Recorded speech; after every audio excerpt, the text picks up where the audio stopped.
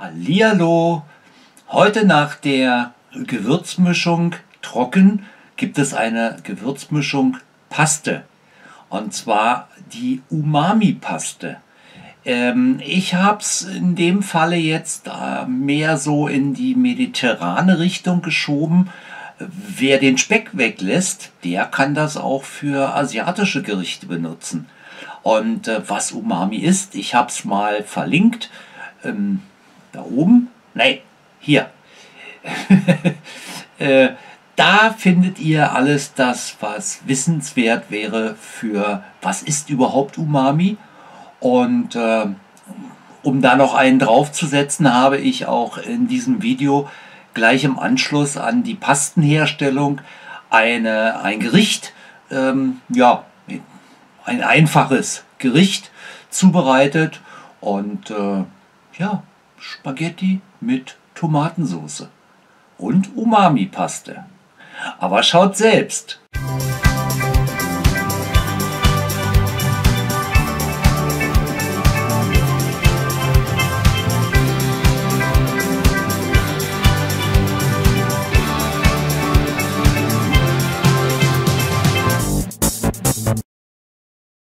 Für unsere Umami-Paste brauchen wir folgende Zutaten.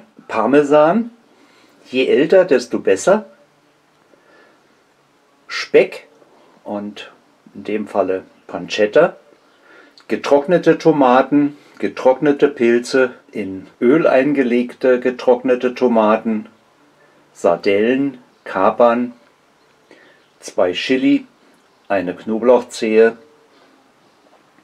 und diese schwarze Bohnenpaste, fermentierte schwarze Bohnen.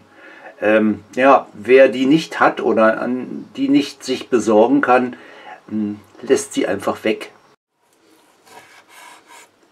Zuerst schneiden wir uns den Pancetta. Ich habe die Rinde entfernt und schneide jetzt so dünn wie möglich Streifen runter. Hier am Ende klappe ich ihn um. Das wird sonst nichts. Und hier kommen auch schon jetzt Stifte.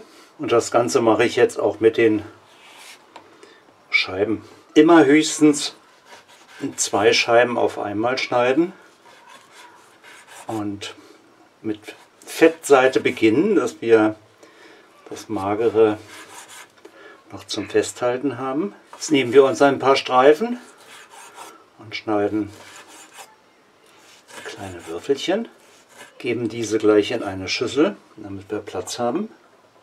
Diesen fertigen Schinkenspeck, den man in den Supermarktregalen abgepackt findet, äh, könnte man nehmen, würde ich aber nicht machen, weil wir wollen ja überall den absoluten Geschmack raus haben. Und da ist so ein schöner alter Pancetta wesentlich besser und geschmackvoller. Das wäre geschafft. Stellen wir uns eine Pfanne auf, mittlere Hitze, 6 von 9 bei mir und geben jetzt hier den gewürfelten Pancetta hinein und lassen ihn anbraten. Und sobald Bratgeräusche entstehen, rühren wir das Ganze durch. Wir sehen, vereinzelt wird er glasig. Wir wollen aber leichte Röstaromen haben. So, und wenn denn auch die Fettstücken Farbe bekommen haben, gehen wir jetzt hier mit der Hitze auf Null und geben jetzt die Würfel auf ein Papiertuch.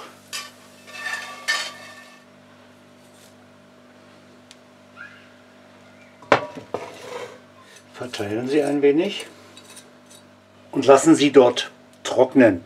So eine halbe Stunde abgetrocknet. Kommen jetzt hier unsere Speckwürfel in den Mixer. Und da ich gerade die Gewürzmischung, die trockene, fürs Umami Pulver gemacht habe, habe ich jetzt auch darauf verzichtet, den Behälter zu reinigen. Warum auch? So, Chili und Knoblauch werden ja geviertelt, geachtelt, egal. Wird alles gemixt und kommt jetzt hier auch mit zum Speck hinzu. Und ebenfalls unsere getrockneten Tomaten. Also die trocken getrockneten Tomaten, nicht die in Öl eingelegten. Die kommen später. Und das Ganze wird jetzt erstmal durchgemixt.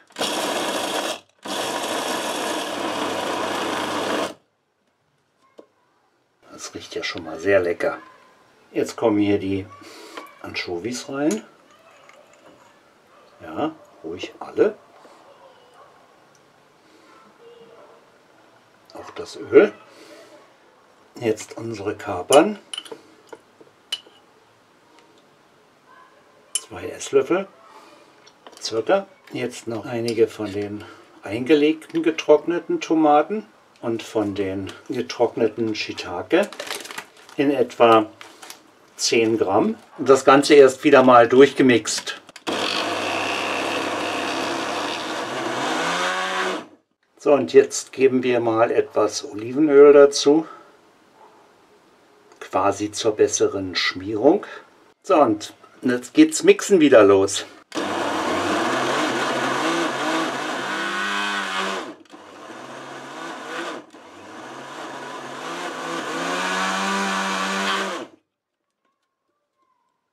Jetzt kommt hier ein Esslöffel von den schwarzen Bohnen hinein, von den fermentierten.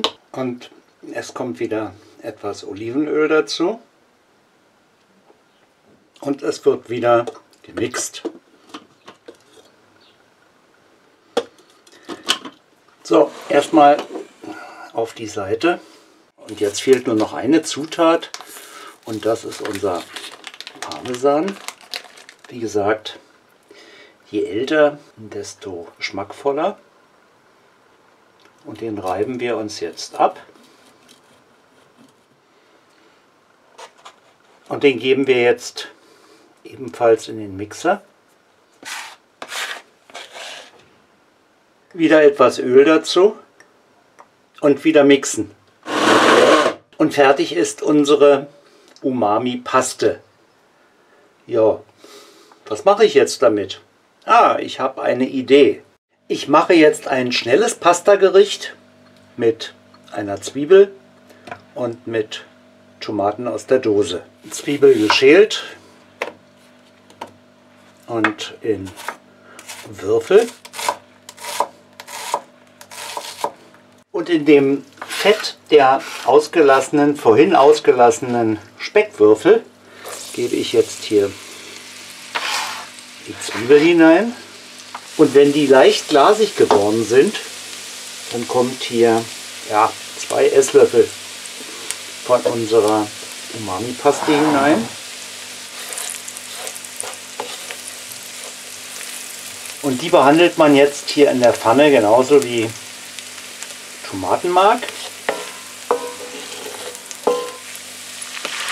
Mit Weißwein ablöschen.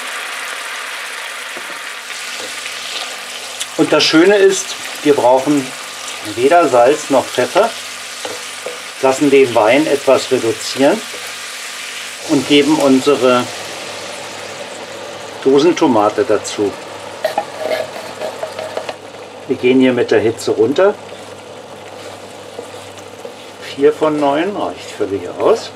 Wenn das Ganze leicht eingeköchelt ist, kosten wir mal.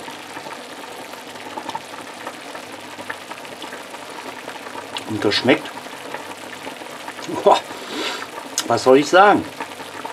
Wie gesagt, kein Salz, kein Pfeffer, sonst weiter gar nichts, nur unsere Umami-Paste. Aber Hammer, echt Hammer. Ja, die Spaghetti sind fertig und ich werde jetzt anrichten und dann wisst ihr hoffentlich Bescheid, wie man eine Umami-Paste macht. Wem das Video gefallen hat, gerne einen netten Kommentar, gerne auch einen Daumen nach oben. Wer noch kein Abo hat, abschließen. Ihr kennt den Psalm. Bitte mit Glöckchen und bis zum nächsten Mal.